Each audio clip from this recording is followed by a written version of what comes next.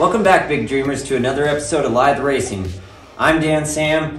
This is my MR2 SW20 time attack build. We're trying to finish off the last little bit of fab work. Last episode, we got this guy off the jack stands and on its suspension. We really needed to find some sort of ride height geometry uh, with all this stuff. That's just a uh, fancy way of saying we needed to bolt some stuff on this guy to see where we needed to put the stuff. This is the front sub mount for the torque arms actually that are part of the front control arms there. We wanted to stick with some MR2 stuff so we went ahead and put this provision back in there after it was already cut out of this vehicle. So we really did need some of this stuff bolted in to see exactly where to, where to place and what to make. We also took some time to make the front radiator support. But all this stuff gave us the opportunity to add some new tricks to this kind of uh, front end here. We're going to be able to run an updated suspension in the front end here, kind of a newer MR2 kind of uh, suspension, as well as now with our uh, core support being so structurally sound, we can actually attach some of our front arrow to this guy and it's going to be really nice uh, being able to use that tied into the actual frame rails of the vehicle. It'll really make the difference there instead of you know, just being tied into a bumper or some other uh, piece of the car that's not really tied into the chassis. So we finished welding this guy up. Doesn't look too god awful. Next up is to figure out the hood vent and where all that stuff is gonna actually lie here.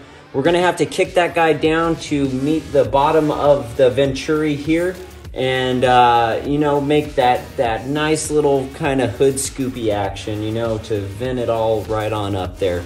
But this is all looking really good and we're gonna make a few tape lines or we already have made a few tape lines.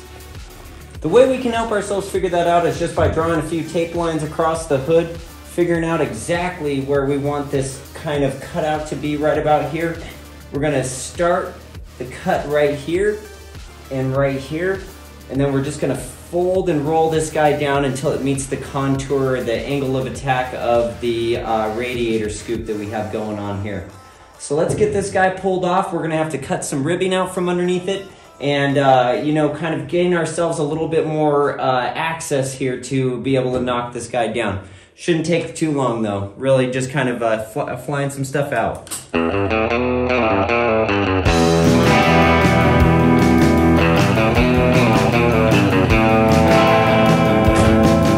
Speed holes. This car is full of speed holes. These speed holes are from the factory. Oh look, a new speed hole has just opened up.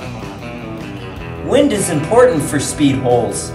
Wind is important for speed holes. Wind is important for speed holes. We want more wind, so we made more holes. More holes, more wind,